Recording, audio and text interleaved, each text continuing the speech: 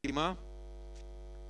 Αυτή τη στιγμή έχει δοθεί εκκίνηση της έκτης υποδρομία για την πρωτοπορία. Προσπαθεί ο Άιστερκης να οδηγήσει από το σταρτένα όμως ο Γενέσιος θέλει και αυτός να οδηγήσει. Γιατί τα δύο άλογα συγκλίνουν και λίγο σε κάπως γρήγορο ρυθμό.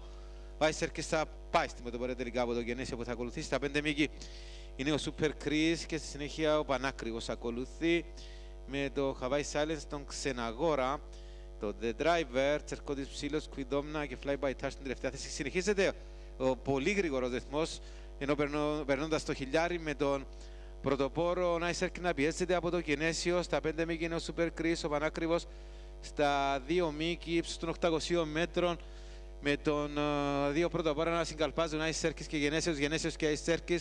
Πανάκριβος και Super Chris Καραδοκίνη άρχισαν να πλησιάζουν τώρα όλα αυτά στο ύψος των 600 μέτρων με τον Super Chris τώρα να έρχεται με δυνάμεις μαζί με το Πανάκριβο και να πιάνουν τους πρωτοπόρους ακριβώς στο 500 και να πάει στην πρωτοπορία τώρα ο Super Chris και να προηγείται ο Πανάκριβος ακολουθεί το ρυθμό.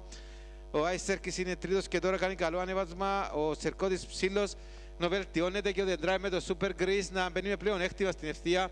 Να είναι δύο μήκη μπροστά από τον Πανάκριβο, όμως έρχεται ο Τσερκώτης Ψήλος. Έχει αυτός δυνάμεις και προσπαθεί να απειλήσει με το Super Chris να έχει το προβάδισμα. Ο Πανάκριβος και ο Τσερκώτη Ψήλος προσπαθούν να μειώσουν. Ο The Driver είναι στην τέταρτη θέση. Με τον Super Chris να ανοίγει τη διαφορά τώρα εκ νέου και να πάει στα 4 μήκη, 5 μήκη να κερδίσει εύκολα τελικά ο Super Chris. Τσερκώτη Ψήλος, Πανάκριβος και Ξεναγόρας.